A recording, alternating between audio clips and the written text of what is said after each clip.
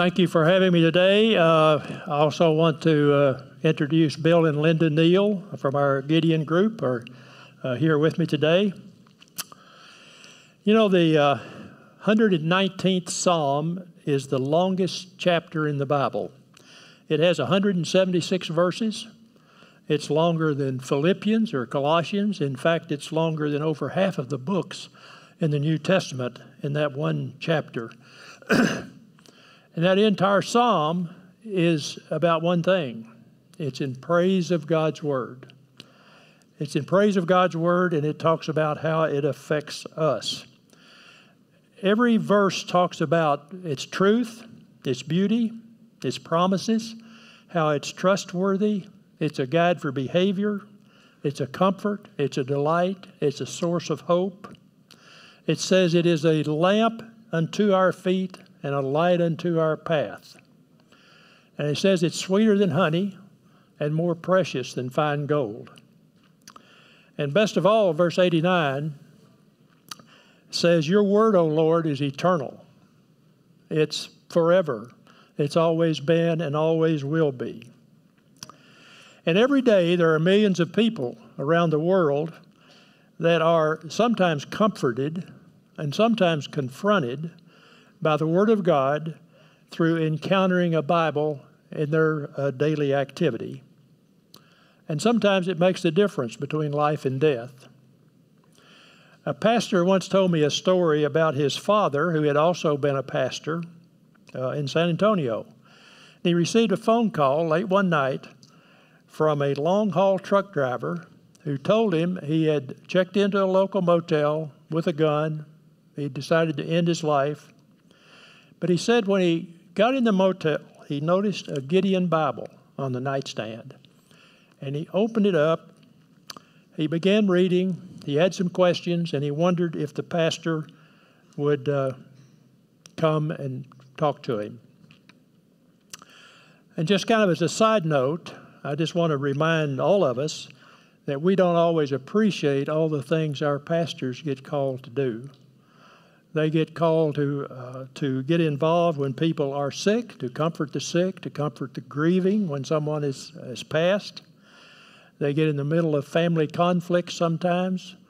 Uh, uh, they take on a lot for us. So I just want to remind you thank your pastor and pray with your pastor, pray for your pastor. Well, this pastor got dressed and went to the motel.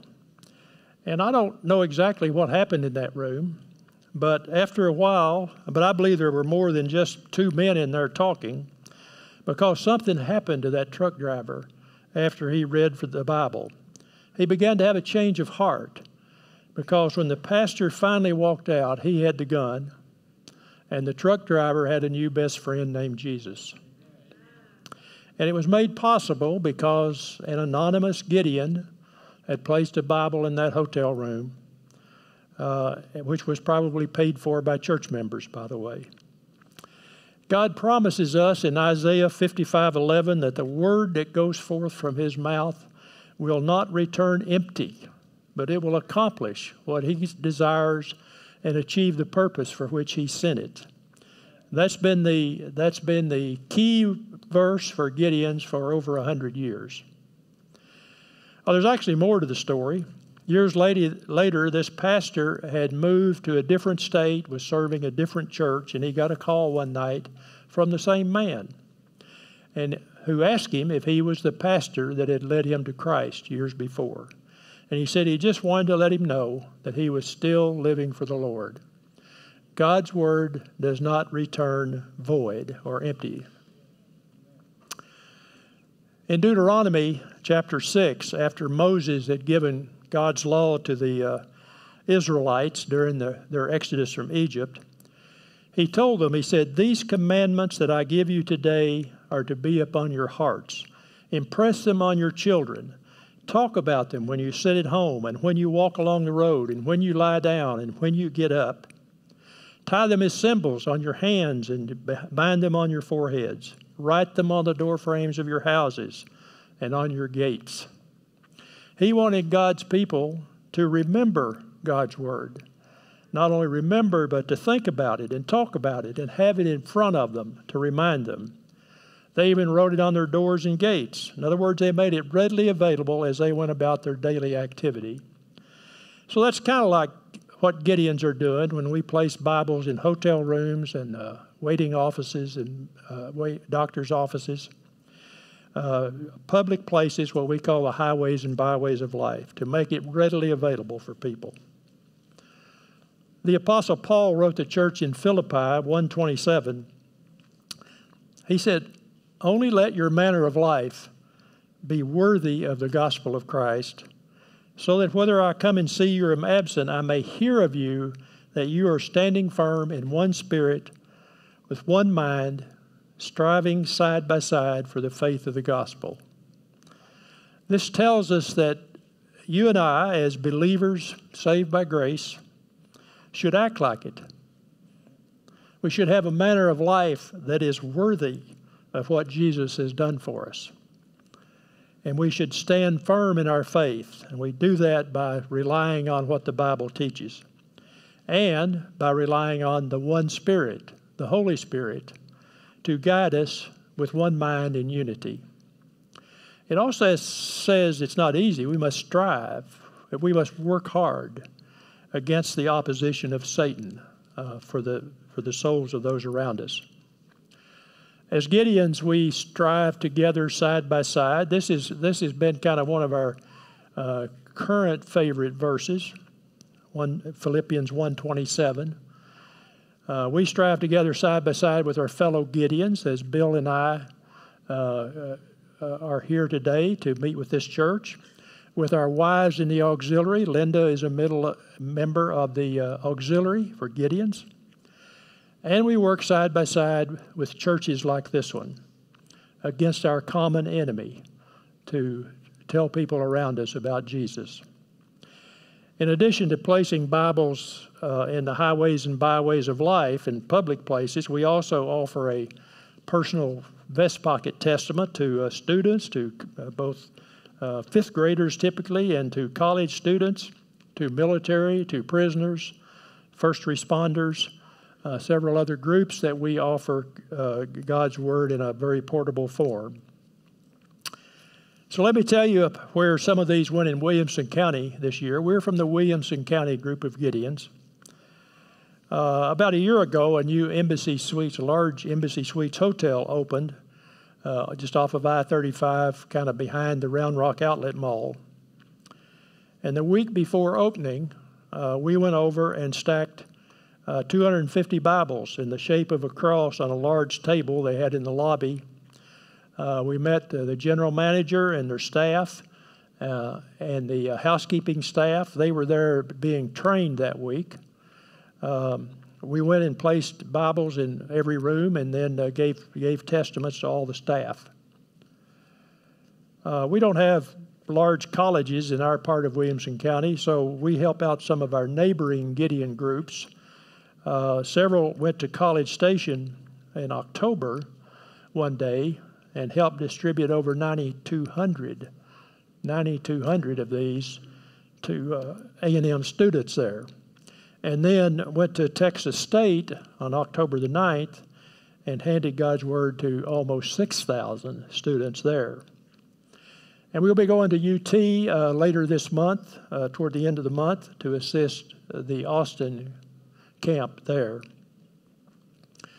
Our auxiliary, kind of one of their main things, is visiting all the medical offices and placing a Bible, a Bible or two or three in the waiting rooms and then giving testaments to the staff uh, there.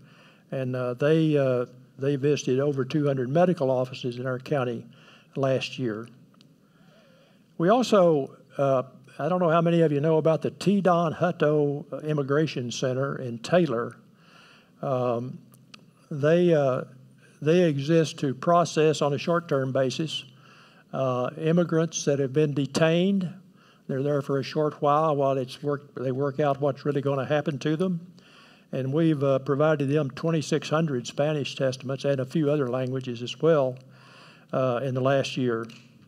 That's kind of, we get to do foreign missions as well because we can go there and give them Spanish testaments, and most of them are going to take them back to when they're deported. And so we get to do a little foreign mission right in Taylor, Texas. We're also finding a lot of new opportunities in food banks and fall festivals, kind of since COVID, that that's still the effects of that in terms of uh, people being hungry uh, has lasted. Uh, last week, Bill and I went to the uh, ACC campus in Leander. Uh, this doesn't have anything to do with the food bank. Uh, we went to a college and handed out over 200 testaments and then the next day, he went to Taylor and I went to Granger, and we did visit food banks, drive through uh, food distribution centers, and uh, handed out testaments there. There's a lot of people in the county still that are hungry, and even more that are still hungry for God's Word. And a lot of them don't know it, but uh, if you can get it in front of them and let the Holy Spirit then work. Last December, during uh, Georgetown's uh, Christmas stroll event, first weekend in December, uh, we worked in uh, shifts in Bethlehem Village, uh, dressing up in first century uh, costumes and distributed testaments there. We gave over 3,600 testaments to uh, departing as they came away from the nativity scene after, you know, seeing the little play about Jesus being born and hearing the song, and then we give them a copy of God's Word. Actually, in 2022, we distributed uh, some 14,000 scriptures in Williamson County, in our part of Williamson County. But around the world, there are over a quarter million Gideons and auxiliary uh, in 200 plus countries and territories around the world. Uh, and we provide this Word of God in 109 languages. Uh, we reached a milestone last year of 2.5 billion Bibles distributed since we started in 1899. And I apologize. I know that's a lot of numbers. Your eyes kind of glaze over after a while.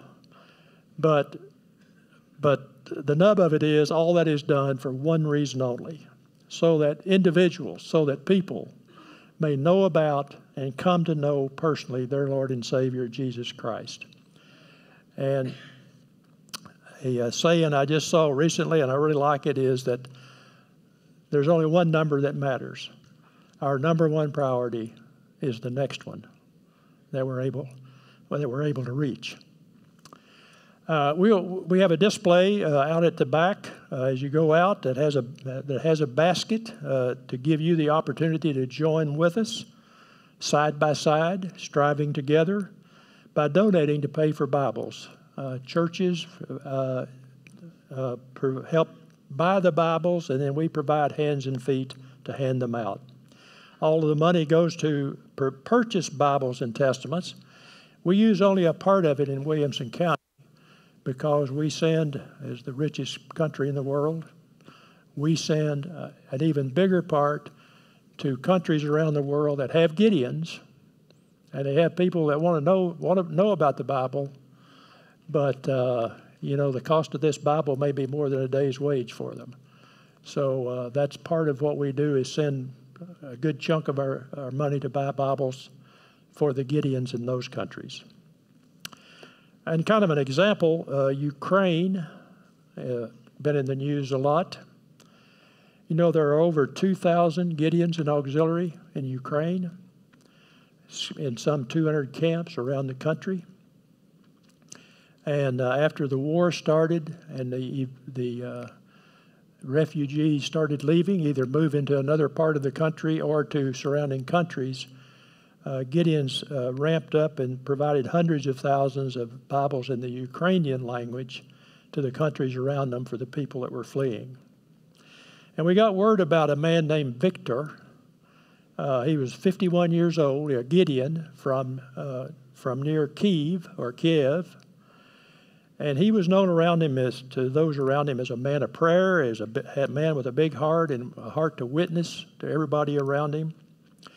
When the war started, he told his family and friends that the Lord had called him to go to the war zone and share God's word with the soldiers. And he believed there was a specific soldier with, that the Lord wanted him to share the gospel with. Well, he was fully committed to carry out that call as the war wore on and he wasn't able to get as close as he wanted, he joined the Ukrainian army at 51 years old, and uh, so that he could take God's word right to the battlefront. Well, he got a leave, a military leave in late December or in early December last year to spend some time with his family, and uh, he uh, accepted an invitation from his pastor to share with their church what he, what he was doing in spreading God's word. He said the Lord was granting him opportunity to, uh, to reach many in that war zone. He told them about one specific soldier who gladly took the word of God into his heart and repented. And then he returned to his military unit in Bakhmut. You might have heard that word uh, a few months ago if you w- watched the news. Returned to uh, continue his mission there to win the lost for Christ. But days later, uh, his mission on earth ended. And at his funeral on December 21st, uh, hundreds of people came to pay respects his pastor said he had gotten messages from a lot of members of his military unit who told him that Victor had been a ray of light, and many shared how he had led them in a prayer of repentance. So, just an example that God's word does not return void as we together stand side by side uh, for the faith of the gospel. Uh, you should have received a bulletin insert inside your the bulletin with an insert from the Gideons with information about Gideons. It also has an envelope that's addressed to us. If you're not uh, prepared to uh, donate anything today, you can take this home and put something in it and uh, send it uh, send it to us later. Our, also, our display outside has a some photos from some of our distribution, a sampling of Bibles and Testaments in various languages. Uh, we also have some what we call app cards. It's just a little plastic card that shows you how to download a Gideon Bible to your phone. I know there's lots of different uh, Bible apps. Um, this one uh, has uh, some of the helps that our little testaments do um, it also gives you access to over a thousand languages, which is sometimes helpful if you meet someone that uh, has a, a different uh, native language uh, to show them how they can access God's Word. Uh, we also have a display of, uh, of Gideon cards. You're free to take some of these. This is a card you can use to, this is a memorial card. For example, you can ask the Gideons to donate Bibles in, uh, in, in someone's memory, a deceased. And uh, of course, you, you say how many Bibles, and they're $5 a Bible that you enclose in an envelope uh, uh to buy, pay for those. Uh, there's something I meant to say. Oh well, it just senior moment, right? So Jeremiah 29:11 uh, is a familiar passage. For I know the plans I have for you, declares the Lord, plans for welfare and not for evil, to give you a future and a hope. And I believe that God does have a plan for each of our lives. And also, we sometimes play a role in even bigger plans that He has and we don't even realize that, at least until it's over. Uh, so I want to give you an example about an amazing plan God had, and both about individuals in it and about the, the broader scope. Vernon Spencer was born in 1908 in Missouri. He was one of 10 children. Uh, the family uh, moved around some looking for work, and they finally ended up in Picher, Oklahoma, up in the north east corner of Oklahoma. Uh, Vernon liked music, and uh, he had bought a ukulele when he was 13, which really made his father angry because this was kind of during the Depression and times were hard, and the family needed every penny for food, not for foolishness. Um, his dad and his bro- older brothers worked in the lead and zinc mines in Picher. That's what it was founded. That was the purpose for Picher, Oklahoma. And when he got old enough, Vernon did too, of course. But he hurt his back working in the mines. He wasn't able to do that anymore. but he had learned quite a bit of music. So he began playing at the Bucket of Blood Bar and Dance Hall in Picher, Oklahoma.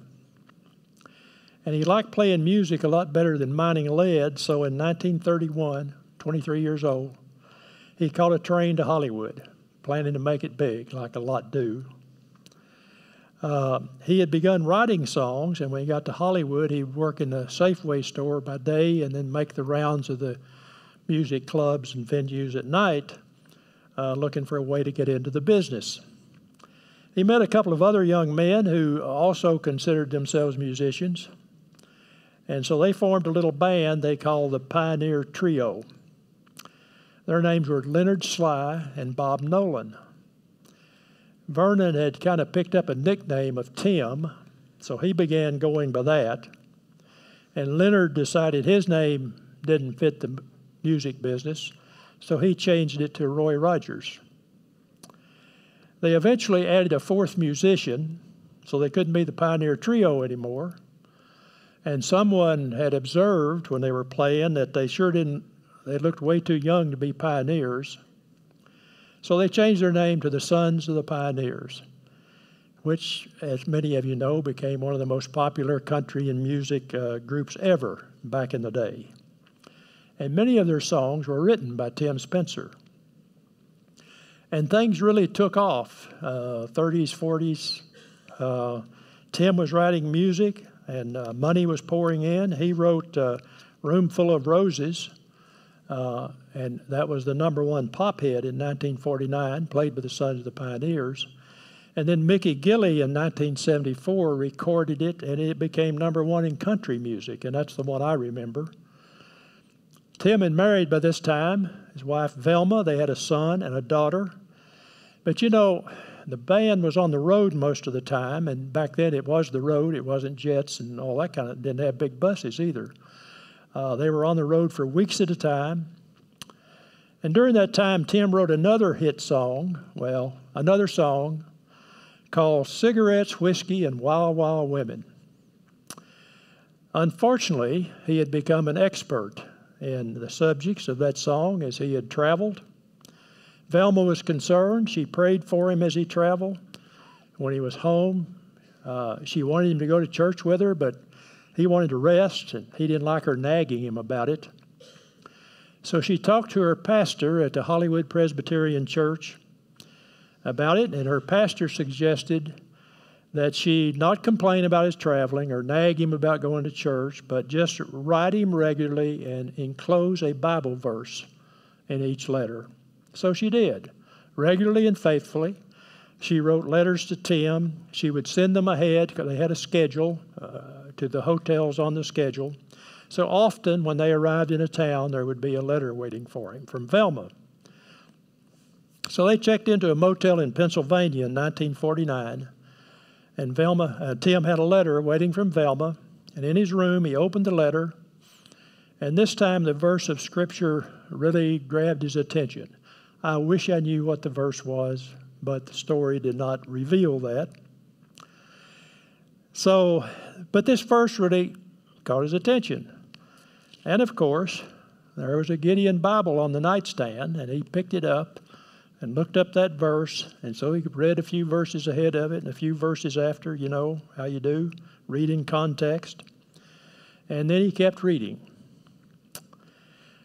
So we've already seen it, but Hebrews 4:12 says that the word of God is living and active, sharper than any two-edged sword piercing or penetrating to the division of soul and marrow, and, and discerning the thoughts and spirits and intentions of the heart.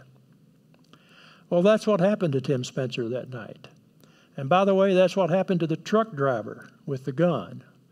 And that's what happened to the Ukrainian soldiers with whom Victor shared God's word.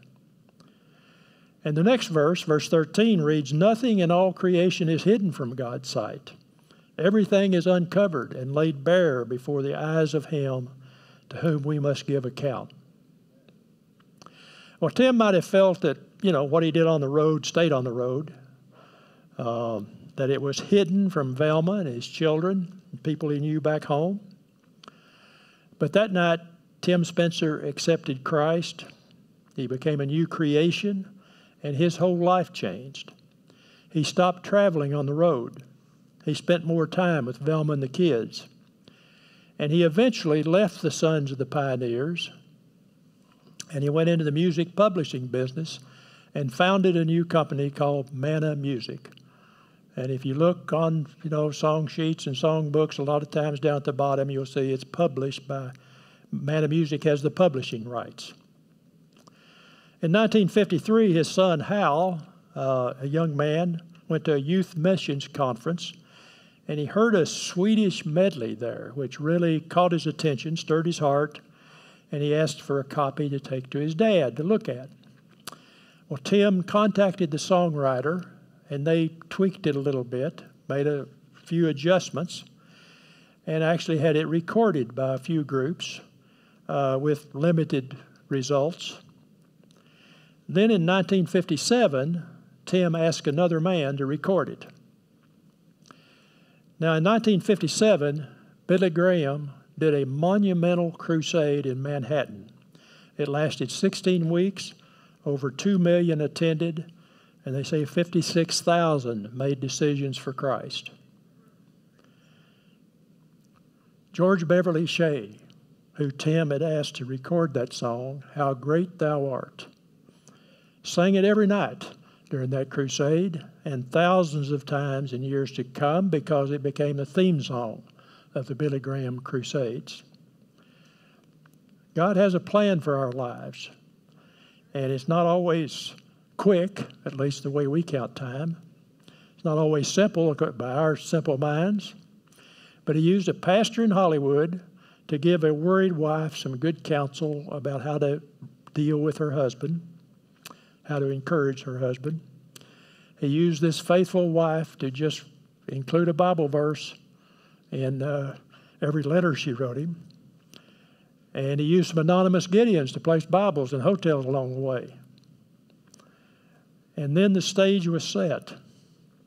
That verse, uh, prompted by the Holy Spirit, caused Tim Spencer to pick up the Bible and the double edged sword, the living Word of God, pierced the heart of the man that had written cigarettes, whiskey, and wild, wild women.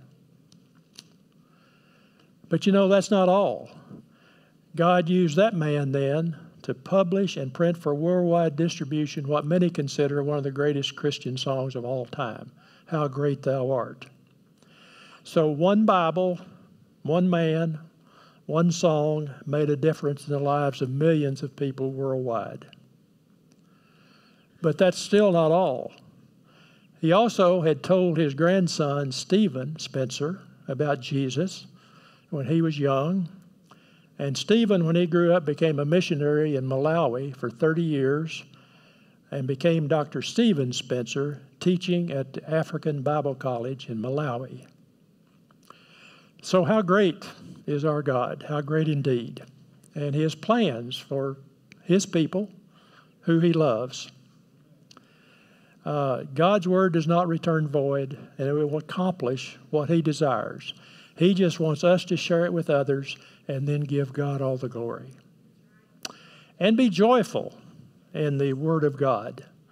Uh, I'm going to end in a moment with a joyful video taken following a Bible distribution at a school in Kenya following a Bible blitz. Now, the Gideons do these blitzes every once in a while in, in countries or in major cities where Gideons come in from all over and help the local Gideons and papering the papering the, the city or the country with God's word. And so that had, there had been a Bible blitz there, and uh, some of them went to a, a, school and handed out a few Bibles. And in fact, you'll see the at the time the international president of Gideon's was there with them. But I need to teach you the words first.